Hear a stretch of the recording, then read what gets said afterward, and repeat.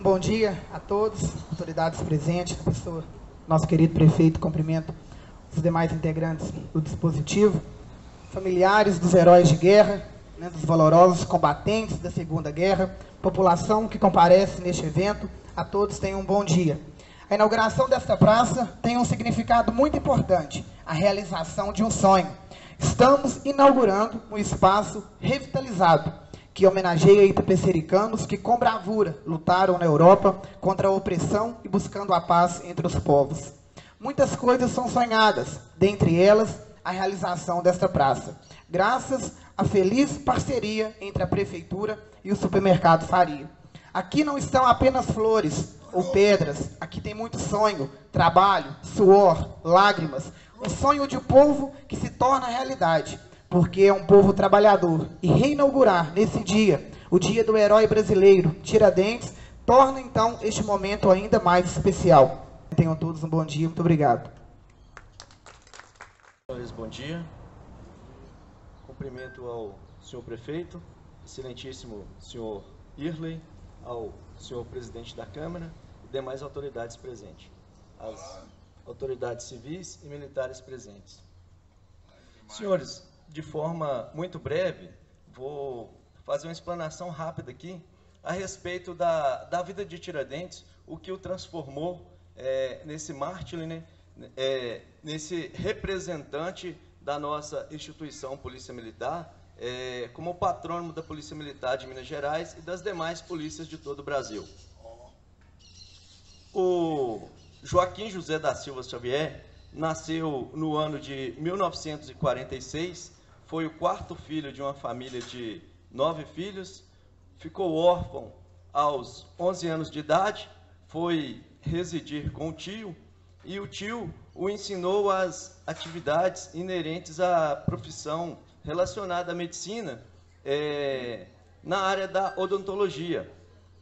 O Joaquim José da Silva Xavier é, aprendeu as artes da odontologia, se tornou dentista, é, passado um tempo, no ano de 1969, já aos 23 anos, ingressou-se na Companhia de Cavalaria dos Vice-Reis, é, instituição esta que no ano de 1975 se transformou no Regimento Regular de Cavalaria, que atualmente é a nossa gloriosa Polícia Militar durante a trajetória do, do Joaquim José da Silva Xavier, ele participou é, de movimentos relacionados à, à independência do Brasil no que tange a Inconfidência Mineira. No ano de 1786, ele participando de diversos movimentos relacionados à, à Inconfidência Mineira, de forma contrária ao, aos propósitos da coroa portuguesa. Então, uma das reivindicações do movimento era contrário à, à tributação portuguesa em relação à cobrança do, do tributo, né? que à época era chamada de, de o quinto, né? que toda a extração de ouro que havia na, nas regiões de Minas Gerais eram destinados à coroa portuguesa. Em razão disso, Joaquim José da Silva Xavier foi preso, é, foi condenado à morte e foi morto, foi é, enforcado lá no Rio de Janeiro e o seu corpo foi esquartejado e diversas partes do seu corpo foram espalhadas pelos trajetos do Rio de Janeiro às Minas Gerais e a sua cabeça ficou é, foi colocada em praça pública na cidade que atualmente é a nossa Ouro Preto. Então essa foi a, a história brevemente contada a respeito de Tiradentes.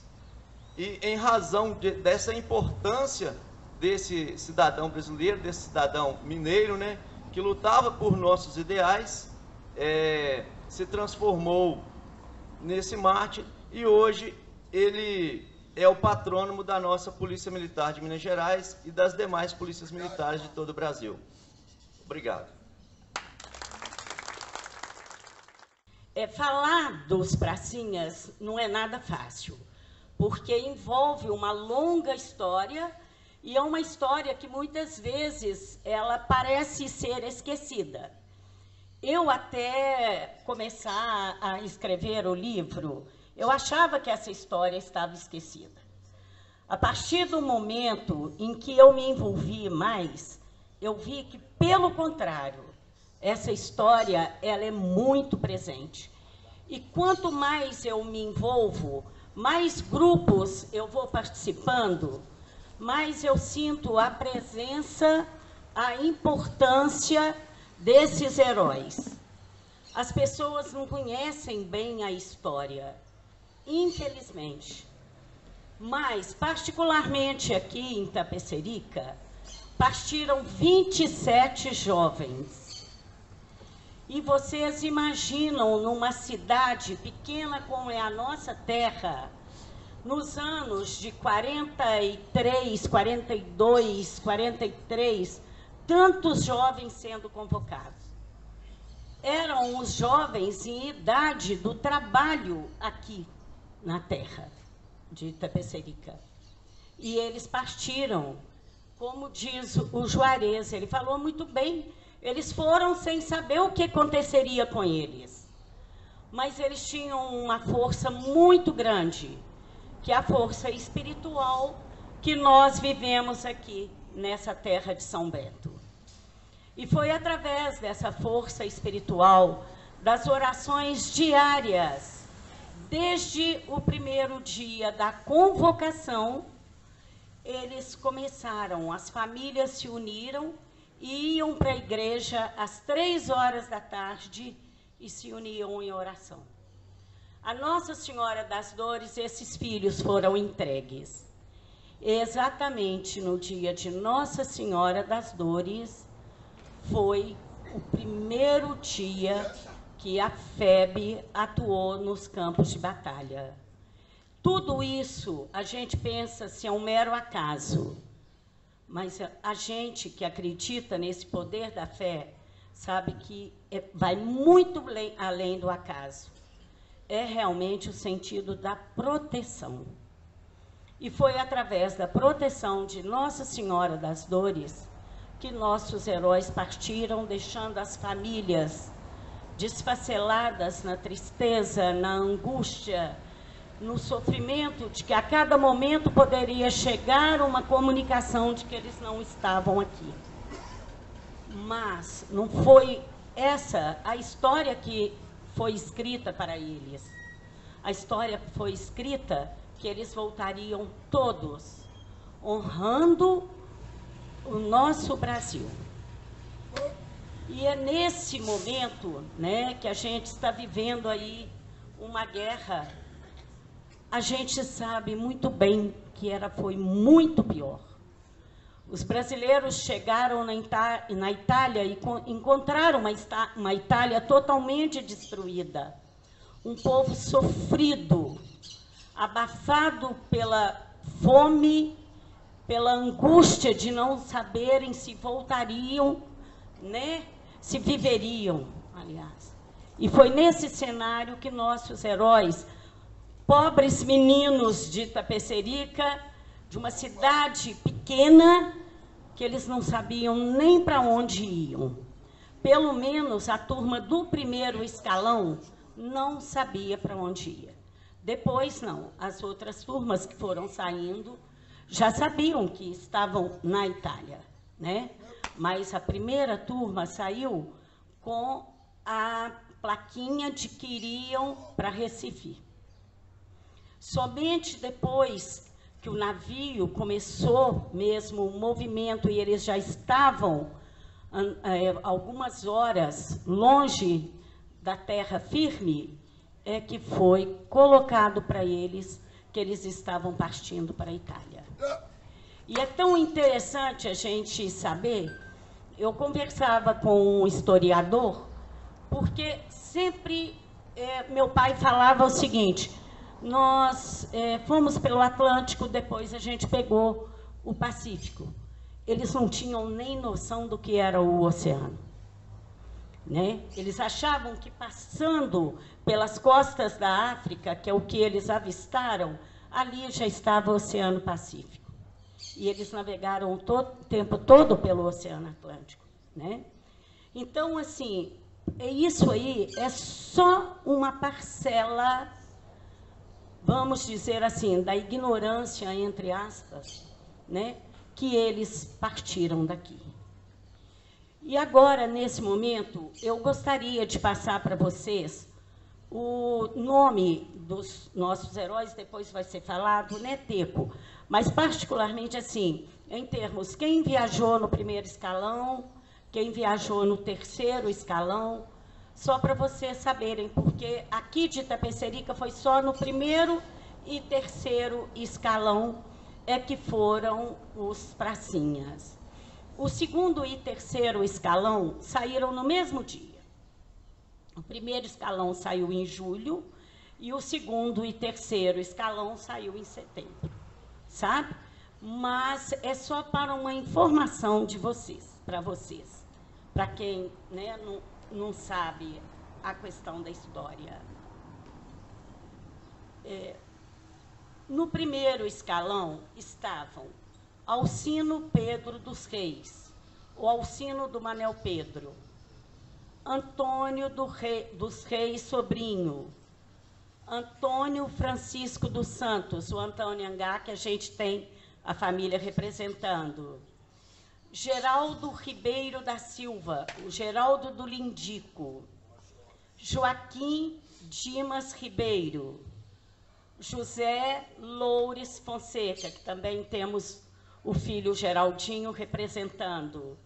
José Pereira Filho, Zé Pereirinha. José Ribeiro Mendes, Zé do Dondico. Júlio dos Santos, o Júlio Donofre, que também temos a família aqui representando. É, Raimundo de Almeida Santos. Rubens de Almeida Pacheco. Saturnino Alves Garcia, que também temos aqui a família representando. Esses foram o que foram no primeiro escalão, que partiram em julho. No segundo escalão, Antônio Diniz Dias Sobrinho, o Protonho. Ele é, era irmão da Terezinha Beralda, para muitos que não conhecem, né? Arlindo Olímpio da Silva, o pai do Dico. Muito, todo mundo conhece o Dico, né? O Baldomero Boaventura, o Geraldo Avelar de Souza, o Hélio Ribeiro dos Santos, representado pela sua filha Eliane, João Dias, João Silvino da Silva, o José Antônio dos Santos, o José da Isaura. Inclusive, os filhos estavam tentando vir, mas eu acho que não conseguiram chegar.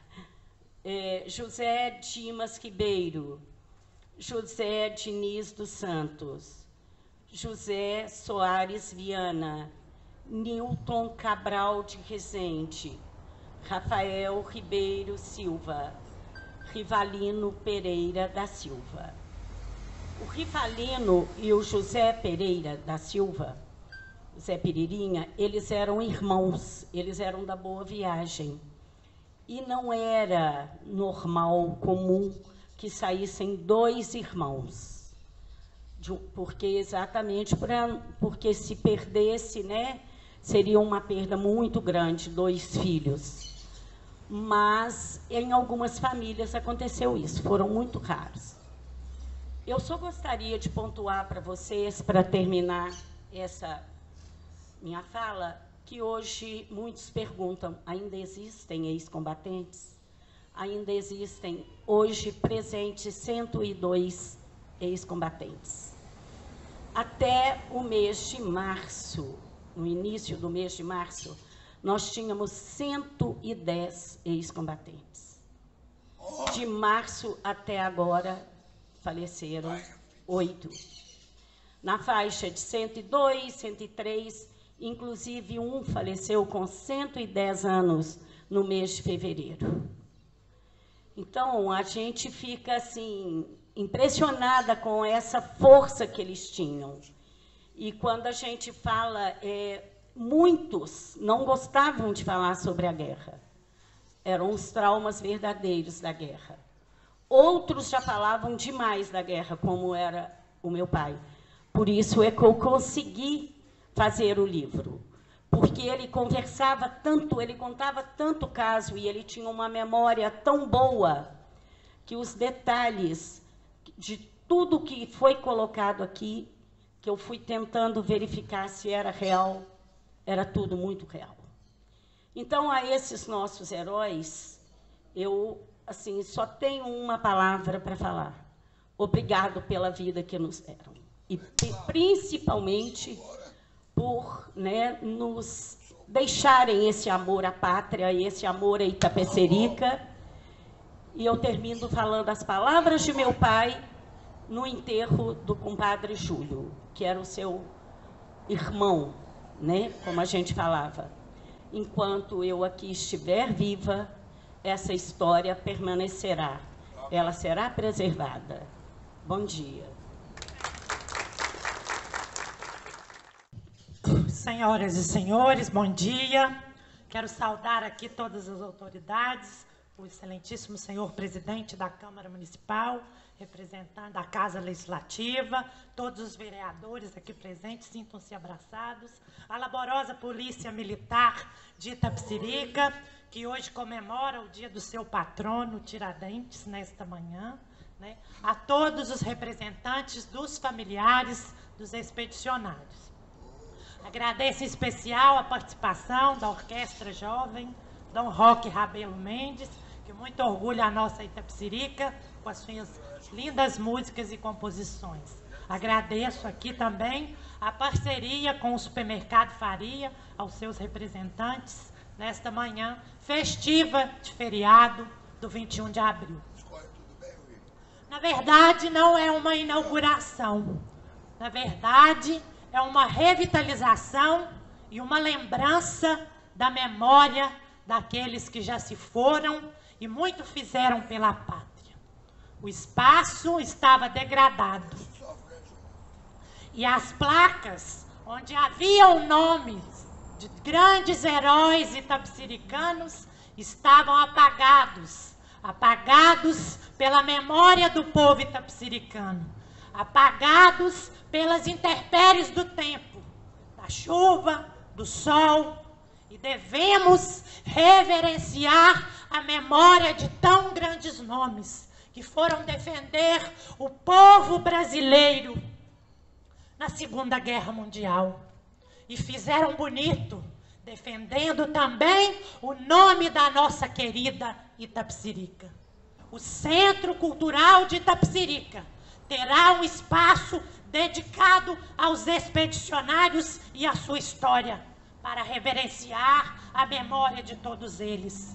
Conto com a colaboração de cada um de vocês, para mostrarmos para as futuras gerações o quão dedicado e bravos foram os expedicionários itapsiricanos.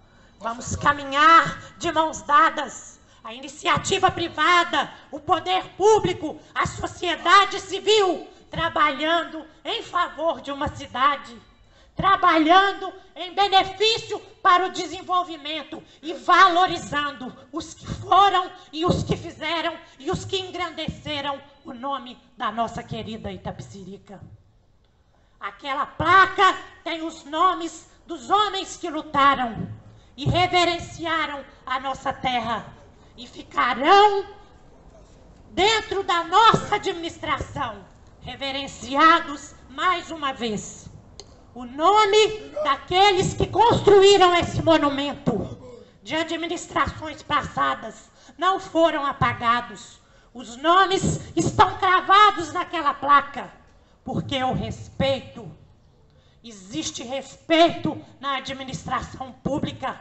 Foram eles que ergueram o monumento e os nomes continuam naquela placa. Eu apenas a revitalizei, a reverenciei e a trouxe à baila, pois ela, se, ela estava apagada pelas intempéries do tempo.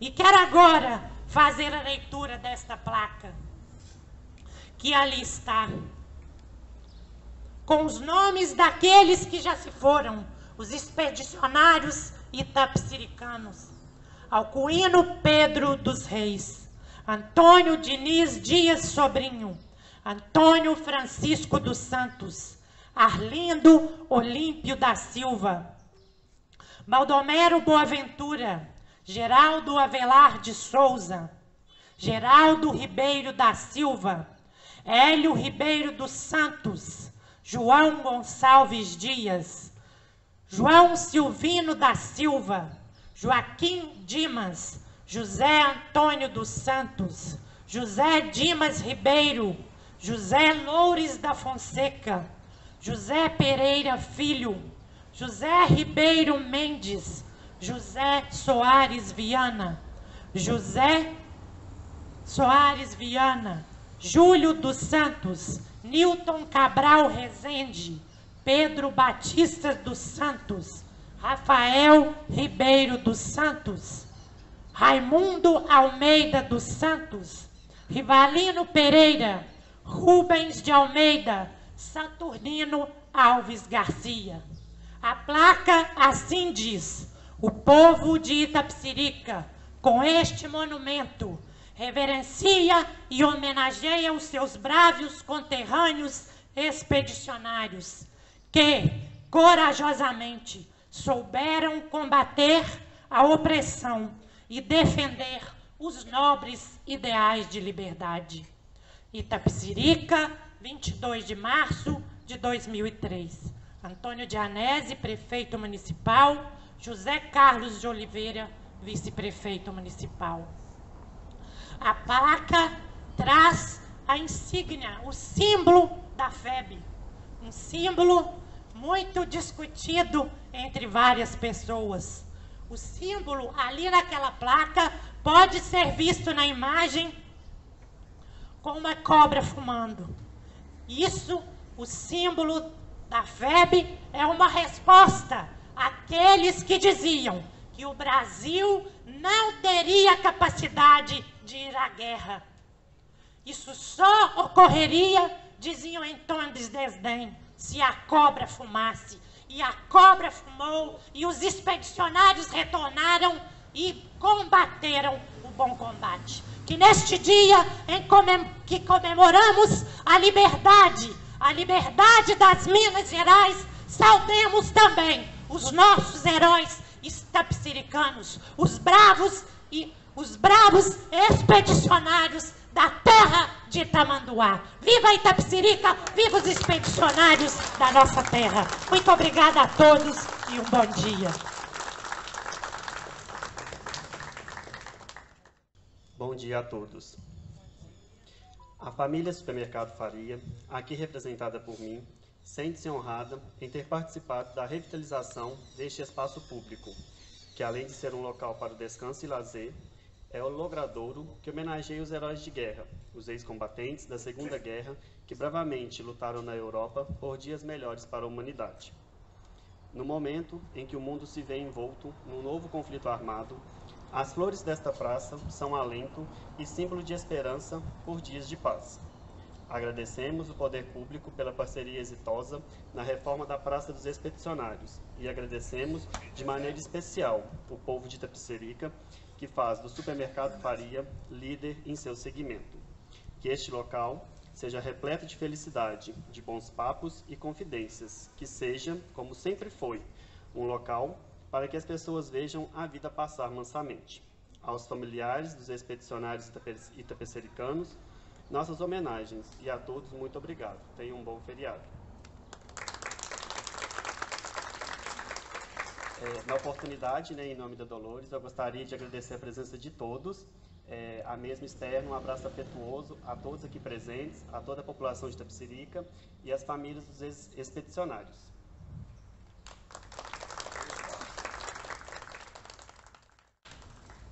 Agora ouviremos algumas palavras do nosso amigo Juarez Carioca. É o jardineiro da praça. Um bom dia a todos, em primeiro lugar. E eu levo a minha gratidão, em primeiro lugar, a Deus, né, pela saúde que Ele me dá, né? Muita saúde mesmo, muita determinação, né?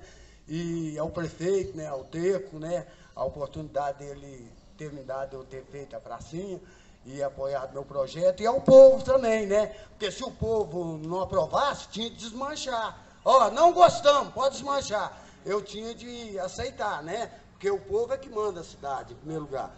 E ao supermercado Faria, né, ao Giovana, a Dolores, e, que patrocinou, que me fez o pagamento, né?